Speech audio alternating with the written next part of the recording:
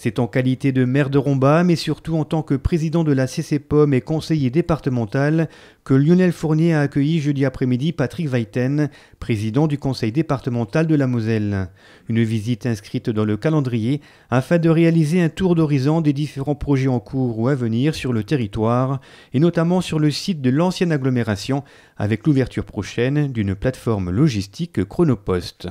Projets qui sont tournés euh, largement vers l'économie.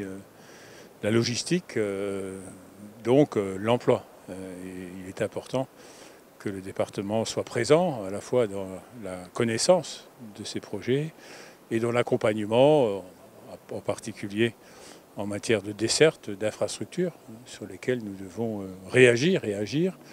On est sur un projet qui va profondément bouleverser le paysage, ici entre Amnéville et Romba, et qui va donner encore une dynamique supplémentaire à ce territoire euh, entre Metz et Thionville, qui n'est pas un territoire intermédiaire, mais qui est un territoire qui a mission d'assumer pleinement euh, à la fois son autorité géographique, euh, économique et, sociale. L'aménagement du territoire au service de l'attractivité, c'est l'une des priorités souhaitées notamment par le département, ici à Romba ou ailleurs.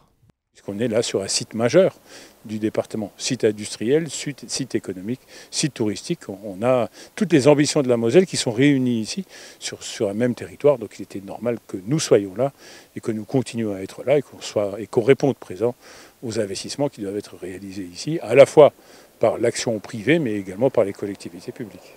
On a besoin de, de démontrer qu'on a tourné la page de cette industrie qui, euh, sur certains territoires, a disparu, mais qui aujourd'hui renaît euh, à partir de nouvelles économies qui correspondent aux besoins exprimés à la fois par l'industrie, par les entreprises, par les populations au XXIe siècle. Et donc pour nous, c'est absolument essentiel d'accompagner, parce que c'est source d'attractivité et de rayonnement. C'est-à-dire qu'on va maintenant sur ces territoires non plus parler de ruines, non plus parler de friches, non plus parler de bâtiments à démolir, mais véritablement parler de projets de construction, de projets de développement, de projets de création de richesses et de projets de création d'emplois.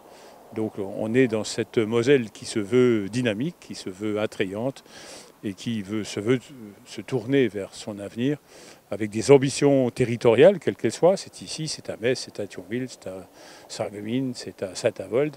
Euh, et, pour nous, il est absolument essentiel que le département de la Moselle marque la place qu'il souhaite tenir euh, dans le Grand Est et sur un territoire qui a une mission euh, stratégique d'aménagement du territoire et, de développement au service de l'attractivité.